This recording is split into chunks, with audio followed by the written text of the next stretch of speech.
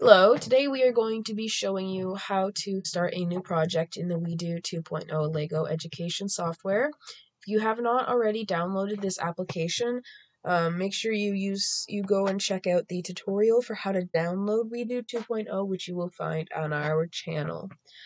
Alrighty, so we are going to get started here by opening up your WeDo app. It'll bring you to these main loading pages. And the first page that's going to come up, if this is your first time opening up the app, will be a software user agreement page. You're going to want to make sure that you read through these and just get a basic understanding of the terms and conditions and agree. Alright, so next it'll bring you to this menu option page it'll just show you what's available to you on the app. So there's the WeDo kit that comes with the Lego and the motors and the sensor. We will be showing you how to start a new project with the robot and without a robot. So don't worry if you don't have the robot.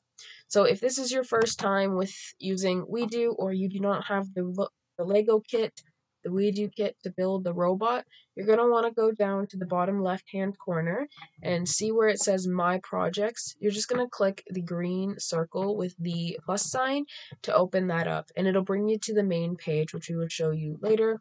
Now, we're just going to go up and we're going to open your first project here just to kind of show you what the options are if you would were to have a kit.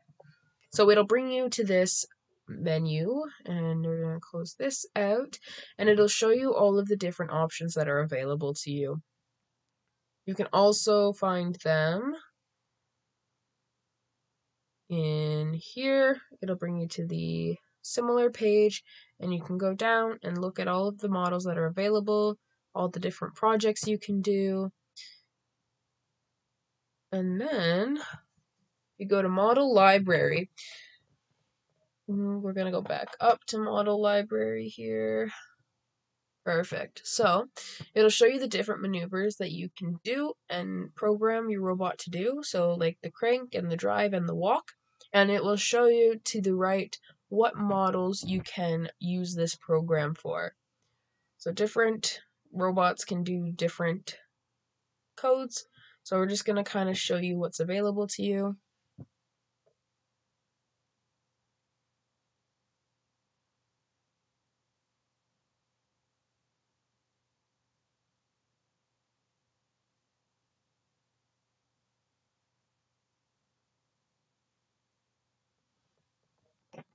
Okay, so like we mentioned earlier, if you just click the new project um, icon and don't have the robot, this is the main screen it'll bring you to right away. So you'll see this every single time you start a new project. This will look the exact same every time. So in the right top hand corner, you have the Bluetooth connecting icon. So if you have a motor and a battery pack, that's what you're going to use to connect your robot to your device you have the play button, which will always show up in the middle of the screen, and then the left top hand corner, the top left hand corner, there's going to be the drop down menu there, so you can click on the home page icon, which will bring you right back to the home page of the uh, software. So what we showed you in the beginning, where you start new soft, uh, new projects and everything, and then the book will be all of your instruction manuals, so how to build different models. The light bulb there is just going to be the model library that we showed you, so all the different maneuvers that you've seen in this video.